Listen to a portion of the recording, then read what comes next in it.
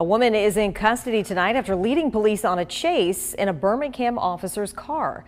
The department says the woman, who has not been identified yet, was arrested during a separate incident. They believe that she managed to manipulate her handcuffs and climb into the driver's seat of that patrol car before taking off. Spike strips were eventually deployed to end the chase near Highway 150 in Hoover.